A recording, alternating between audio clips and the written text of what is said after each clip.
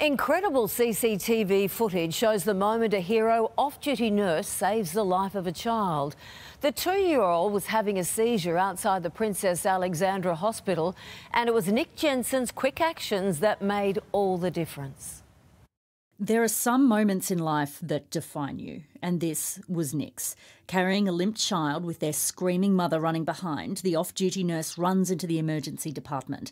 Staff clear the way for him to make his desperate dash to save the child's life.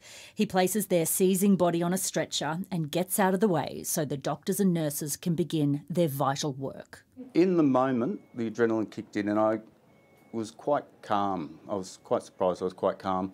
I think my training kicked in. Nick is a trainee nurse. The 44 year old had just finished a shift at the Princess Alexandra Hospital in Brisbane and was walking to his car when he heard the panicked cries of the mother, who was running the wrong way. Took the child out of her arms and did a quick assessment of the child.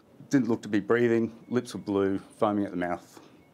Uh, needed medical attention immediately. Nick put the two year old in the recovery position and did what he had to.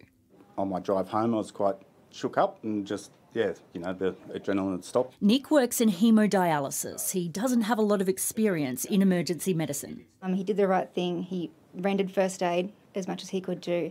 Obviously, it was in a different scenario. You would call triple zero. It turns out the child was having a febrile seizure. Thankfully, they're now fine. Yeah, felt good because yeah, you're helping people. So that's why I got into nursing.